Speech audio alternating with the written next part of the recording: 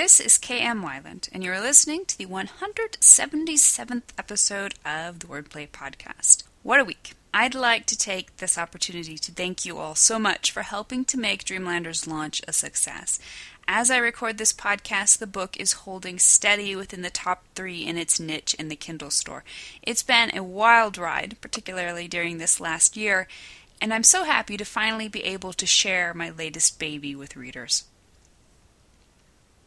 In other news, I am now a quarter of the way through my rewrite of The Deepest Breath. Most of the significant changes I wanted to make were in that first quarter, so I'm hoping I'll be moving a little faster from here on. And I'm still reading away about biplanes and barnstormers as I research my historical fantasy storming. Nothing better than curling up with a book as the cold winter night creeps on. What's the difference between conflict and tension? The latest post in the video series on my blog answers one of your questions about the finer points of distinction between these two important story catalysts. To watch it, visit my website at helpingwritersbecomeauthors.com. New videos are posted every Wednesday. And now, I hope you enjoyed this week's podcast, the first in the series Structuring Your Story's Scenes. This installment is titled Mastering the Two Different Types of Scene. Trick question for you What's one of the most overlooked pieces of the story puzzle? Okay, so it's not really a trick. It's a legitimate question with a legitimate, if somewhat surprising, answer. And that answer is the scene. Yep, you heard right the scene, that most integral, most obvious, most universal part of any story, is also the most overlooked and least understood when it comes to the craft of storytelling. How do you explain the scene? Everyone has a different answer. One, a scene is a unit of action. That's great, but what makes it a unit? Two, a scene is a unit of action that takes place in one setting. Well, that's often true, but there are definite exceptions. 3. A scene is a unit of action that features a specific cast of characters.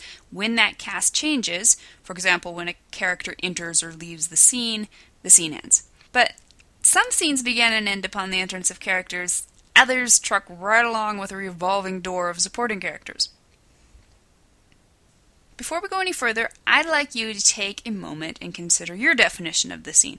And I'm going to bet it's harder to quantify than you may think, isn't it?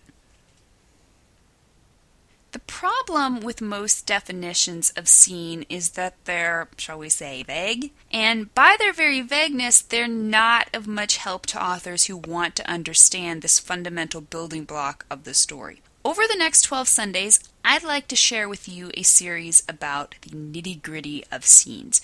We're going to explore some concrete facts. We're going to learn the basic structure of scenes, variations upon that structure, and how to use an understanding of the scene to pack them one upon another until we have a story that's rock solid from beginning to end. To begin with, let me note that we're going to be focusing on two different types of scenes scene featuring action and sequel featuring reaction. In my opinion, these are absolutely ridiculous titles that don't help at all with the misunderstandings surrounding the issue. However, since these are the commonly held terms for the story components we're going to be talking about, I've decided to maintain them. As the series progresses, I'll be breaking down scenes and sequels into smaller pieces so we can analyze what makes them tick. But for now, let's take a look at the big picture. What is a scene? The scene is where we find the conflict. This is the action part of the action reaction dynamic duo. Big stuff happens in scenes. Plot points change the course of the story. Characters act in ways that affect everything that happens afterward. These are the scenes that will loom large in your stories. What is a sequel?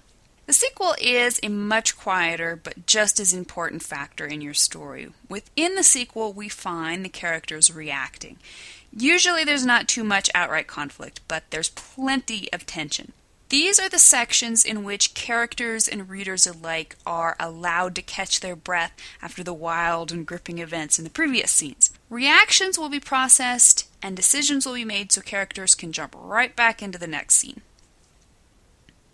As we dive deeper into the exciting world of the scene, we'll talk about how to structure the arc of each scene, how to link all scenes and sequels so they all behave like proper little dominoes, how to use scene knowledge to spot plot problems, and we'll even dig down briefly into the microscopic level of paragraph and sentence structure within the scene. It's going to be fun, so hang around. Thank you for listening to the Wordplay Podcast. To read a transcript of this episode, you can visit my website at helpingwritersbecomeauthors.com. And be sure to check back again next week.